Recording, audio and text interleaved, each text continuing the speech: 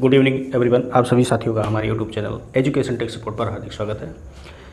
जैसा कि कल आप लोगों ने सीखा, यानी कि हमारा जो पिछला वीडियो था, उसमें आप लोगों ने सीखा कि, यानी कि भिन्न, यानी कि जो भिन्न है, उसको कैसे कन्वर्ट किया जाता है दशमलव में। किसी भिन्न को दशमलव में कन्वर्ट कैसे किया जाता है, उसका एक छोटा सा पार्ट था, आज उसी का दूसरा पार्ट है। जानेंगे कि भिन्न को दशमलव में कन्वर्ट कैसे किया जाता है। जैसे मान लीजिए कोई भिन्न आप ले लीजिए। जैसे पाँच बटा तीन। पाँच बटा तीन एक भिन्न है, इसको आपको कन्वर्ट करना है दशमलव में। तो इसको करने के लिए हमने बताया था, इसको ऊपर वाले को अंश बोलते हैं, यानी कि जो आपका बटे का निशान होता है, उसके ऊपर वाली संख्या को अंश बोलते हैं और नीचे वाली संख्या को हर बोलते हैं। तो हर को अंश में भाग देना पड़ता है। कुल मिला के आप यही समझिए तो हर को अंश में भाग देना पड़ता है और जो हमारा उत्तर आएगा वही दशमलव में होगा। तो चलिए जानते हैं मान लीजिए हर आपका कितना है? तीन। अब तीन में सॉरी पाँच में तीन से आपको भाग करना है। अब देखिए अब तीन का पहाड़ा पाँच में कितनी बार जाएगा? एक बार जाएगा। तो तीन एक, एक तीन क्योंकि अगर दो बार ले जाएँगे दो बार ले जाने से वो संख्या छः हो जाएगी, जो कि पाँच से ज़्यादा है। और पाँच से ज़्यादा जब छः हो जाएगी तो उसमें से आपका माइनस नहीं होगा, इसलिए एक ही बार ले जाते हैं। तो तीन, एक के तीन तो बचा कितना? पाँच में से तीन माइनस अगर होगा तो आपका हो जाएगा दो। अब यहाँ पे पॉइंट लगाइए।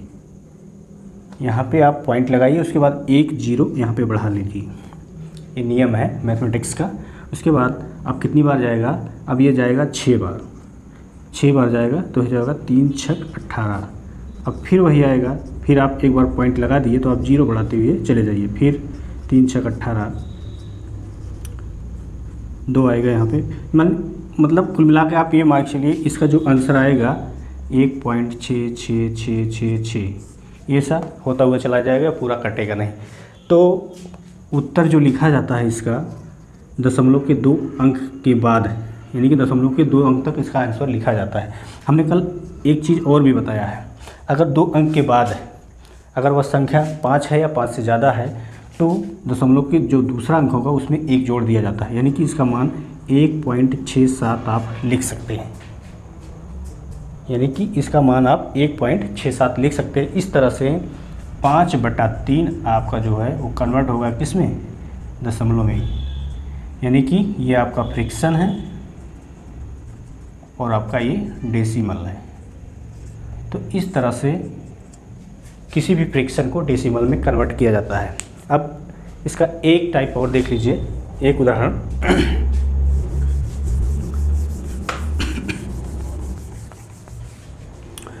जैसे मान लीजिए कोई संख्या दे दी गई, पाँच सही, दो बटा पाँच। अब इसको आपको कन्वर्ट करना है किसमें डेसिमल में। यानी कि ये जो आपका फ्रिक्शन है, इसको आपको कन्वर्ट करना है किसमें डेसिमल में। इसको कन्वर्ट करने के लिए आपके पास दो टिप्स होती हैं, यानी कि दो नियम हैं। पहला नियम, आप ये जो पाँच है, ये जो सही का पाँच है, ठीक है? इसमें गुड़े पाँच और प्लस दो और बटा पाँच। यानी कि इसका गुड़ा इसमें और उसके बाद उस ऊपर वाली संख्या को जोड़ देंगे। यानी कि पाँच गुड़े पाँच प्लस दो बराबर कितना हो जाएगा? पाँच पच्चीस पच्चीस प्लस दो बटा पाँच, कितना हो जाएगा? सत्ताईस बटा पाँच। अब इसको जब हल करेंगे, सत्ताईस में पाँच से भाग सॉरी हाँ सत्ताईस में पाँच से भाग देंगे तो पाँच पच्चीस पच्चीस बचा दो। पाँच पच्चीस पच्चीस, और उसके बाद अब पच्चीस में दो ही बचा, पॉइंट बढ़ाएँगे तो ज़ीरो बढ़ जाएगा, पाँच चौका बीस, यानी कि पाँच पॉइंट फोर आएगा इसको आप समझ लीजिए कैसे हुआ? सत्ताईस सत्ताईस भागे पाँच। पाँच पच्चे पच्चीस हुआ, पाँच बार गया एक कट गया, उसके बाद यहाँ पे दो आया। अब चूँकि पाँच का पढ़ा दो में जाएगा ही नहीं, इसलिए क्या करेंगे हम, यहाँ दशमलव बढ़ाएँगे, यहाँ ज़ीरो बढ़ा लेंगे। तो पाँच पच्चे सॉरी पाँच चौके बीस, चूँकि पाँच बार जाएँगे तो पच्चीस हो जाएगा, इसलिए पाँच चौके यानी कि चार बार ले जाएँगे तो ये बीस हो जाएगा, पूरा का पूरा कट जाएगा।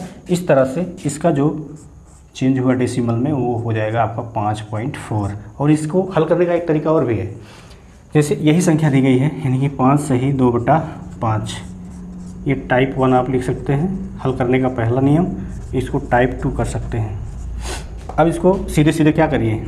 पाँच को सबसे पहले अलग कर दीजिए। इसको अलग कर दीजिए। अब बचा कितना? हमारा दो बटा सॉरी दो बटा पाँच है ये। दो बटा पाँच। अब दो बटा पाँच को यानी कि पाँच दो में पाँच से भाग करना है।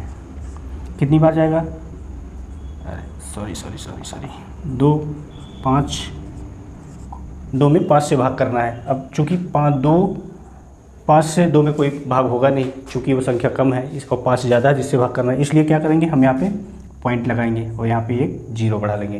तो अब कितनी बार जाएगा? पाँच चौके बीस, यानी कि पॉइंट फोर पॉइंट फोर आपका उत्तर आ गया। अब इसका मान, अब क्या करेंगे, जो आप पाँच पहले अलग किए थे, पाँच दशमलव चार। ऐसा कर लीजिए। बस हो गया। क्योंकि पाँच पाँच जो है, पहले से ही अलग था पॉइंट फोर है, उसके बाद पॉइंट फोर को आप इसकी जगह रख दीजिए, बस काम हो जाए।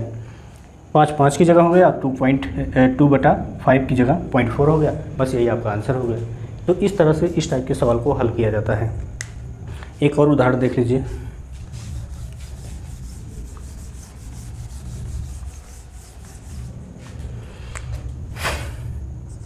छः सही चार बट्टा सात। अब इसको हल करना है तो सेम सेम आप पहले छः को अलग कर लीजिए, उसके बाद चार बटा सात बचता है, चार बटा सात को आप सात से चार में डिवाइड कीजिए। अब क्या करेंगे?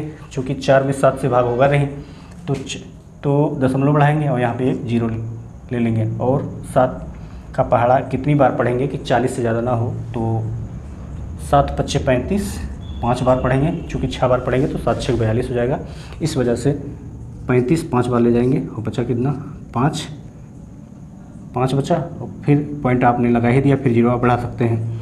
तो सात सत्ता उनचास सात बार जाएगा। और बचा एक। फिर आप ज़ीरो बढ़ा सकते तो सात, एक।